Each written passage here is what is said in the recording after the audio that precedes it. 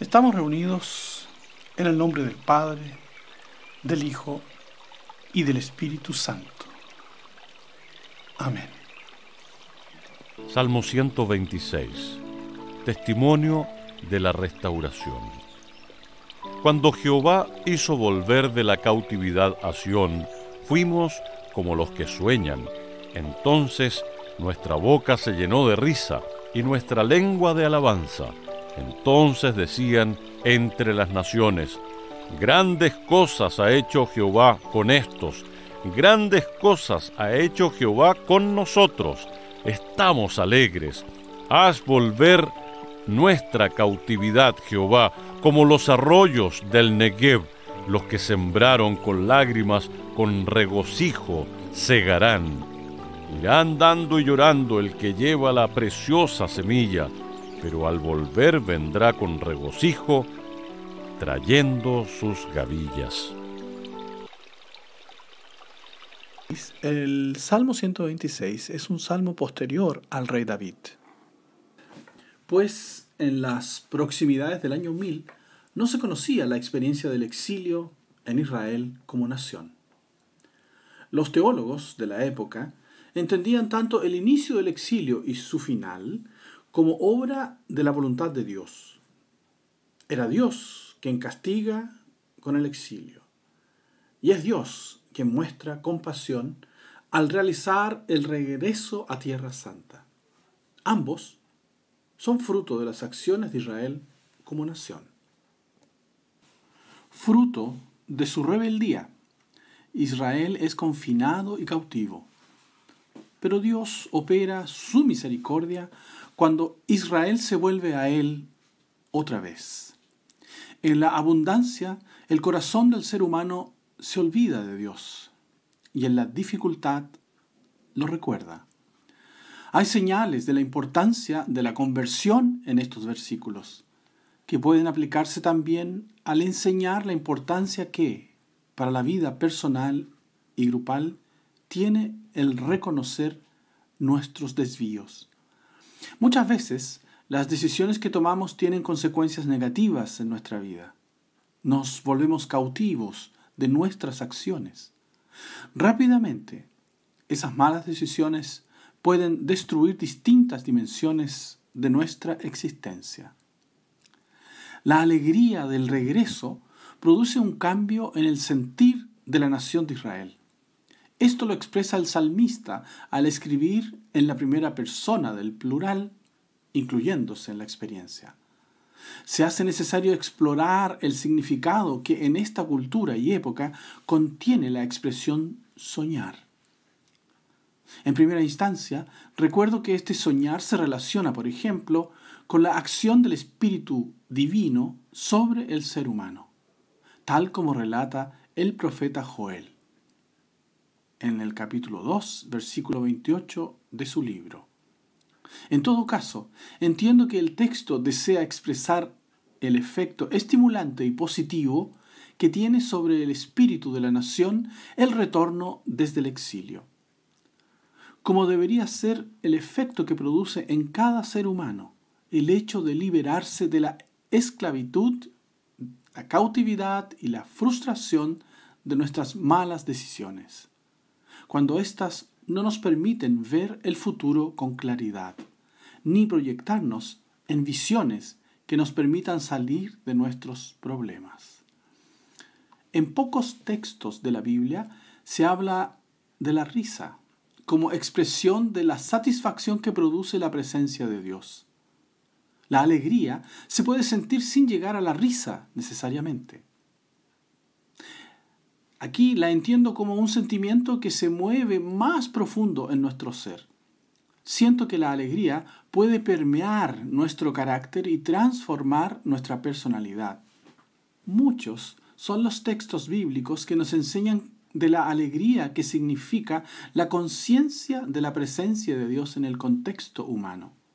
Vivir con alegría puede determinar hasta nuestro estado de salud positivamente. Es posible que la risa sea el verbo de la alegría. Se trata de alegría que ya no se puede contener de tan llena que está el alma. Y eso es lo que expresa el salmista. La alegría puede ser tanta que se transforma en risa, y la risa nos puede llevar a la emoción que se manifiesta en lágrima.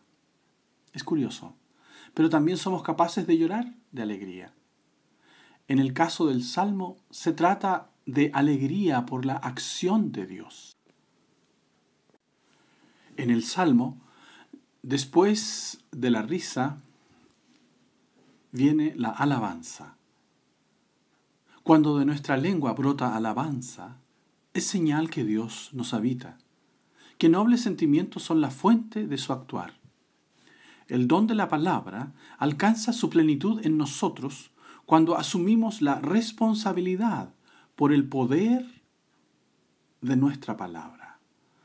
Alabamos a Dios cuando nuestras palabras resultan constructivas, bien intencionadas y enfocadas en hacer el bien. La alabanza se entiende como una expresión de nuestra comunión y alegría con Dios. Lo que advierte el apóstol Santiago en su carta en relación a la lengua y el daño que puede hacer, nos sirve de espejo en cuanto al modo en que usamos la palabra.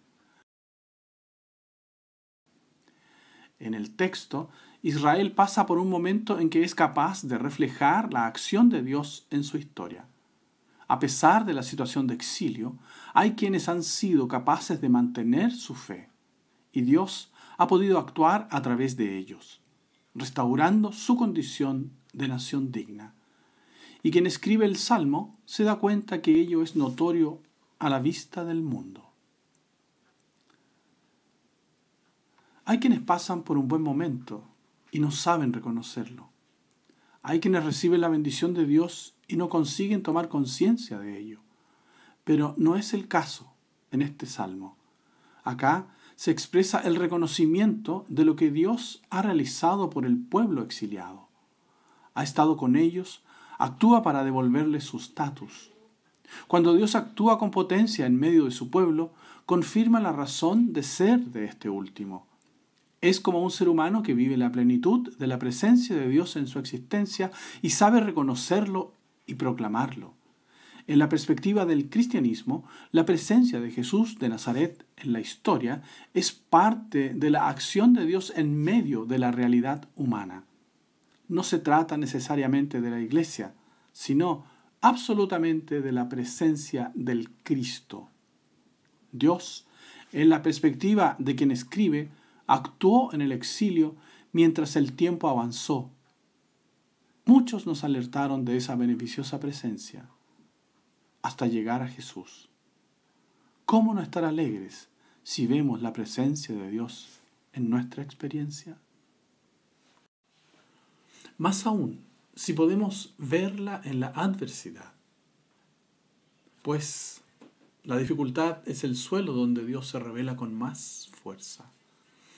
Cada uno de nosotros ha soportado el peso de este momento histórico por meses y es lógico sentir el agobio que causa y preguntarse, ¿cuánto tiempo más todavía? El salmista expresa la alegría del regreso de Israel a su normalidad.